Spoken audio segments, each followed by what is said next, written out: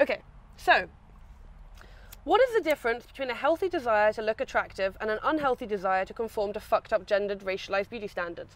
Is wanting to get laid a bad reason to work out slash lose weight? I have a friend, legit, who ignores his health and hygiene and uses the fact that beauty norms are constructed and oppressive as justification.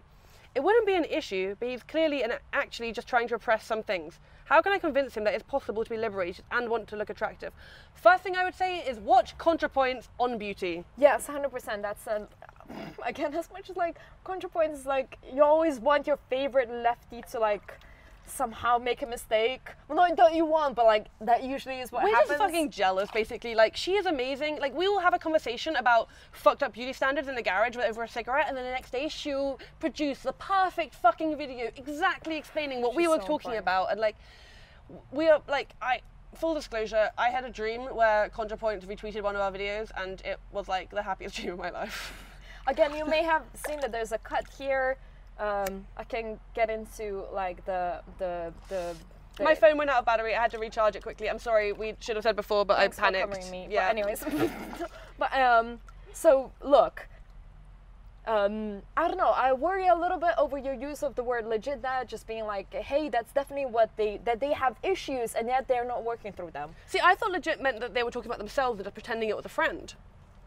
I think that they're saying that it's just like they definitely have some issues and yet they're not talking about them. Um, so, look, fundamentally, um, we are also called out on this all the time. The fact that we're a bit react, well, we're quite reactionary as to like our fairly stereotypical ways of, of like defining uh, what is attractive. I would like to think I'm the culprit in this, and Rowan is actually way more open-hearted on this. the, the point we make is that like whilst there is like the queer feminist utopian vision of a world in which these things don't matter, we don't live in that world yet. And like, yes, someone will find everyone attractive, and yes, like. You do definitely not have to change your aesthetic or anything for anyone else. And yet, there are unfortunately certain aesthetics, certain body types, certain fucking like colors of skin that like are- seen as more attractive in our bullshit fucking society. Okay. Like that is a, that is a thing that we have to both work with and fight against, kind of simultaneously. So okay, so I'll bring up two things there. One is like a very personal thing that like I had to deal with fairly recently, as in like, look, apparently in like the the liberated left, like no one cares about burping because like we just burp like who cares like no one gives a shit it's like burp is like such a natural thing and so we should be totally like Farting as well. all of that stuff. And yet, yeah, okay. So I grew up like whenever from age eight to fifteen, I grew up in a in a house where I was living. There was basically a kitchen and toilet in one end of the corridor, and then one bedroom in one and another end of the corridor, and then another bedroom in the other. One of them was for my brother, and the other one was for me and my both of my parents. And um, and in the corridor, I was living with fairly, um, I suppose, with like morosi, like um, I think the eastern hemisphere of my listeners will understand is like people that like uh, kind of and anti, fairly antisocial. No, I hate to use this term, but basically it was like people in their 20s and 30s that would spend their time drinking the corridor and like um, swearing and like vomiting and burping and doing all of that stuff because it was really their way of going through that particular day, which I completely understand. And like you know the sunflower it- seeds and Was that a form of like rebellion, as in like f- the world has fucked me over, so fuck the world back? I don't think there was a political project behind No, it. but like I mean, subconsciously, or was it just like? Because I feel like you know you see like teenagers spitting on the street and you're like gross, but also you're like they're No, doing it's just that. like it's people that like have you know have very very little resources. They don't really have a tomorrow. They, they don't really have like that many um, economic like, um, prospects. prospects as such and um, and I think they saw our family because we were like two parents and two kids as like this nuclear family. Little did they know that we had fuck all money or whatnot, but like they thought that like to way a way to in their very very sort of like you know just like sing, Hmm. single dudes living in Lithuania. like asserting dominance or yeah, yeah, I, I, it's very difficult. I could literally go into like marking territory. a little bit, a little bit. Um, and basically, they would do burping competitions, which is like fine, but like when you're like I don't know a teenager, nine year, or not even teenager, nine year, 8 to 15 when you're trying to sleep and all that you hear on the other side of the door and it's a fucking thin door because they're in the corridor is all just like just burping competitions is like it's difficult and so i have this whole thing where like i can't necessarily and oh it's so popular around the middle class squatting scene like people just burping and um, i find it i hate to use the word triggering but it kind No, of is It's, yeah, it's coming back to a traumatic part of your past. Yeah. That's literally what triggering means, dude. Like, and so and, and so I really hate it when people like burp around me like and it took me years to call people out on it.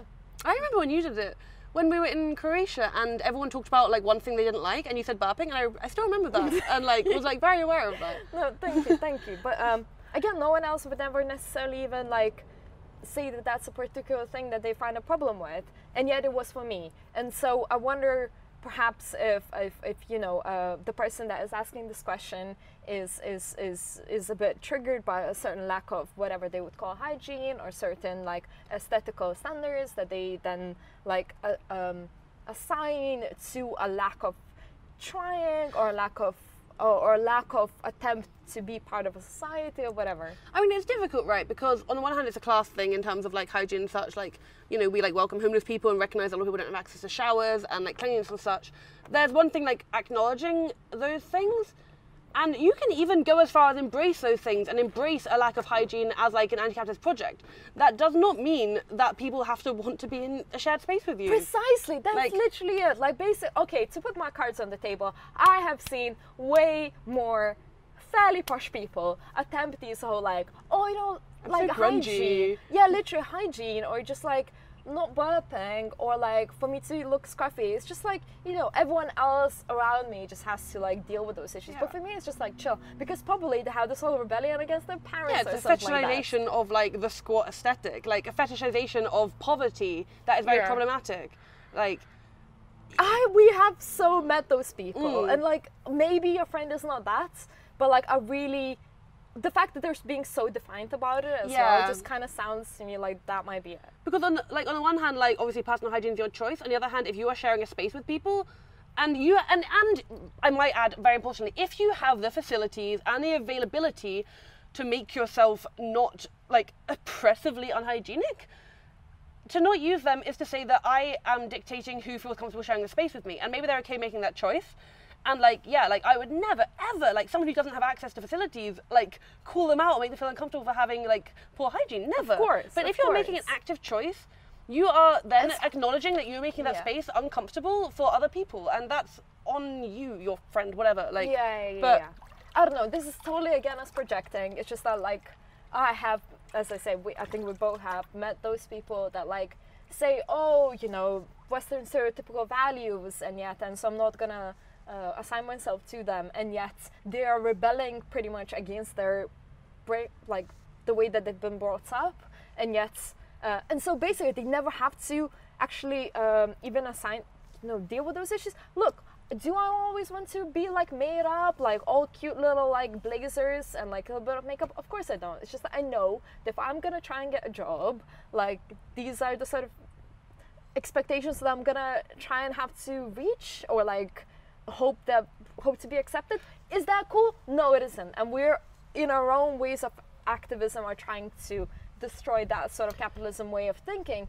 And yet I have found that people that can like just never think about this shit usually are never are always the people that um, don't have to fit in in the in in in that Well, in that milieu. this is the thing because I, think- I feel like there's two parts to this question. One is about beauty standards, and one is about hygiene. Yeah, And I feel like we are talking mostly about the totally, hygiene part, and like totally. that, like if hygiene is not your choice, then never ever feel like bad for that. If you're making a political project out of having poor hygiene when you have the facilities not to, that's your call. And some people might not feel comfortable in that space with you, and that's also their call and completely within their right. And they are not bad activists because they don't want to share a space with someone who is deliberately having poor hygiene. Yeah. In terms of the stereotypical beauty Yeah. standards, it's just like, look, we've all watched Love Island. We know what this. What you, we've all seen the magazines out there. We all know what the expectations are out there.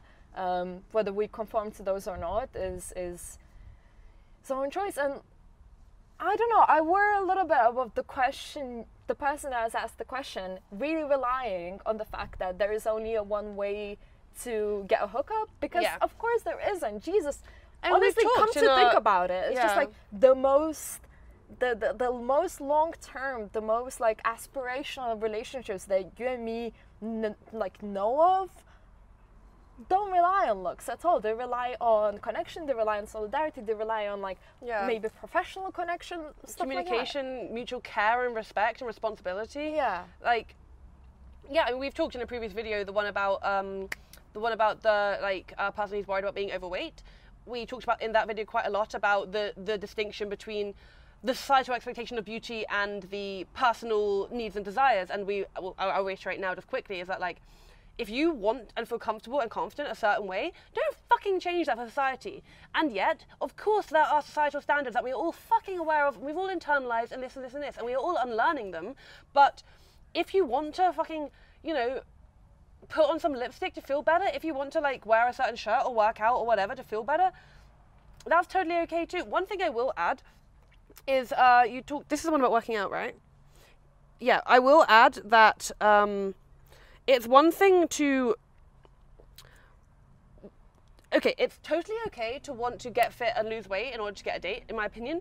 It's not okay to use a gym as a place to find potential dates and to like if a girl is working out in a gym and you think her ass looks good don't fucking hit on her she's working out she's doing her own thing but like yeah the whole thing of like we all simultaneously and this is possible by the way like some strands of feminism simultaneously look good and feel fit for ourselves but also i'm not a fucking bad feminist or a bad woman or a bad person if i also like it when i put on some lipstick and go out and people think i'm attractive Yeah. like fucking But then me. you see, it's funny you say this because I also agree with you. But then, so someone underneath this exact video that you mentioned, the one with the with the, the the someone like with the boobs and the belly, you should check that one out. Like uh, the the comment below it was really really potent and incredible. And reading that, I was just like, fuck, why the fuck do I even care about my? Basically, the way that they referred to it was like kind of quotes saying. oh this the one about their friend that wanted to get a nose job Yes. Yeah. Yes. Oh, should we just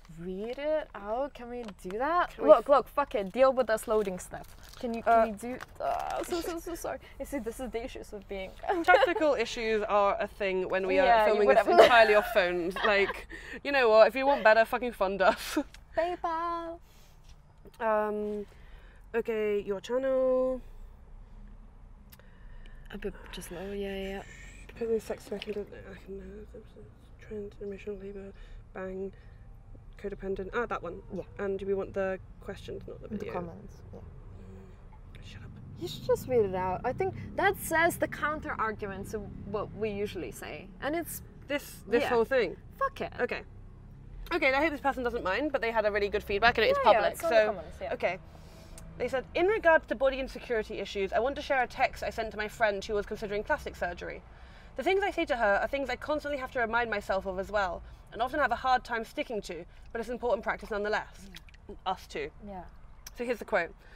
For years, I seriously considered getting a nose job because of the bump on my nose. I always compared, and still do sometimes, my nose to other people's noses and got really obsessive and self conscious about it. I compared my nose to yours too, honestly. Yours? Mine? Ours? No, oh, I the think friend. this was a letter to. Oh, the right, friend. right, Yeah, sorry. yeah, yeah. I always looked before and uh, I always looked at before and after pictures on Google of rhinoplasties. My mom actually supported me doing it. She was actually the one that put the idea in my head, which made it worse. She mentioned one day that I could get that fixed if I wanted to. The idea that I could have something fixed reinforced the idea that there was something wrong or not ideal with my appearance to begin with. I know it's hard to accept ourselves as we are, and I love you and I would never judge you for whatever decision you make because I know how hard it is not to pick ourselves apart. But I have found something powerful in trying to remind myself to fuck all the shit that's telling me that there's a fix for my flaws. There's a whole money making empire that feeds off of creative solutions to our problems. These meat suits we live in will one day die and rot away, and what will be remembered and valued for is what we did with our lives. I looked at people like Rosa Luxemburg and Emma Goldman for inspiration. They did not feel fit the ideal of beauty for the time they lived in, but they gave but they actually subverted those ideas and gave zero shits about how society thought they should look and act. When I get down on myself for my crook nose or my cellulite or my thick legs or my new wrinkles, I try to think about them and how they had no time to waste caring about stuff like that. It's hard, but it's a practice that I feel like can add more to our lives and confidence than surgery ever will. I love you, dude, and I think everything about you is special and perfect. And I think part of our responsibility to ourselves, to those around us, and to the next generation is to set a good example for how to love ourselves and keep our focus on what we have, what we want to do with the short time we have on this earth. Oh, they give me shivers. So, yeah, yeah, and then I was actually just like BBC just created this incredible documentary on Anna Campbell. Not to say that she's not incredibly beautiful mm. aesthetically as she is, but like made like a woman just put herself on the front line against fascism and she just didn't care about anything else much, though she remains to be beautiful as is and fuck me, to be fair, that is the aspiration. We are stuck and I will say we are stuck in the limbo. I will say as again i will say as someone that's trying to fit in in this particular society where i don't have an inheritance where i don't have anything to fall back into i am trying to put myself in this particular society of of, of being pleasantly looking somewhat i don't know. And so but the aspiration is being like hannah. So is being like this person as well being like emma. And, um, and Emma, um, yeah th- these women have and more of us should do that where we just put all of our label towards creating an anti-capitalist anti-fascist Yeah. soci- society and But also, I would like I have a lot of issues um, in general, and also like personally with the idea that like to be an anti-capitalist or to be uh, this or this or this anarchist squatter whatever, you have to like look a certain way and you have to conform to a certain aesthetic. And I often feel uncomfortable. Like I in, like I enjoy dressing up in feminine clothes. I enjoy wearing lipstick. Oh, I enjoy all that stuff. And then I'll go somewhere like the Anarchist Festival, a great event full of great people, no doubt, and I will wear my like sexy red top and my red lipstick, and I'll feel like I am seen as not serious or like why is she here or she can't possibly have something to add i've been because of called out for not being crusty enough. Yeah, and like some of this is in my head, and some of this is actually reflected in interactions, and so like it is a constant thing. Like so, on that one hand, I was conforming to society's expectations of beauty, but I was not conforming to my scene's expectations of beauty. So it's like kind of like you, can know, never you win, can never win. the conclusion with this question is you can never win. As in, like, we have full solidarity with the both of the sides of this question, Mm. sadly. And um, like yeah, I would be lying if I said I didn't want to look hot. Same. Also be lying if I said that beauty standards were different in different places, and you would find that there is the societal beauty standard, but there are also scene-specific beauty standards that are also worth taking into consideration. absolutely, and I would be lying if I said I'm not incredibly jealous for the. I'll say women because I guess that's my aspiration. Women that do not care about this. They're Mm. just fierce, incredible political um, forces that have made a dent in in in in in the sort of scene that we're in, and they're remembered. They're not remembered by their looks. Actually, come to think of it, no one. No one is remembered by their No look. one is No, remembered by like, their I remember that amazing actress in 1950 who was super hot. Like, no, that never happens, No. right? It, the people that we that are our aspira- Mm. aspirations, they're only remembered by the work that they've done. But again, we live in a misogynistic society, and we live in a society where, like, yeah, we can have our legacy, but we also have to get by on day to day, not feeling like shit. And if that means I sometimes put on some lipstick or whatever, so fucking be it. Like, Yeah, and come to think of it, like the the, the, the sort of activist spaces that I've been allowed to, um, I think, or, or the sort of following that I've been able to to amass, really has really come down to I think not only my brilliant thoughts, but sometimes because like I create a certain aesthetic around me that is not that that is not usual for the nerds and it's not usual for the left. Hmm. You know, there's some something in between. And also, like a point we've made in a lot of our previous videos when we're talking about how to date and how to f- be found attractive is there is a difference between looks, as in physical beauty, and aesthetic. And aesthetic choices can do so much to like make your looks more appealing for a certain scene or for a certain person or for this or this or this. So like, yeah. You know, we all choose what we wear at the end of the day. We all go to a shop and think, I want to wear that, and we pick it, and we all look at our face and think, I'm going to have this haircut or I'm going to have that haircut. Like, Yeah, we we, look not. at Angelina Jolie and we go like she made she's like the 75 out of 10 scale, and then we go like Brad Pitt. I don't think I would necessarily be into him that much. like, he's fine, but it's just so like yeah, it's not. Yeah. it's not all that.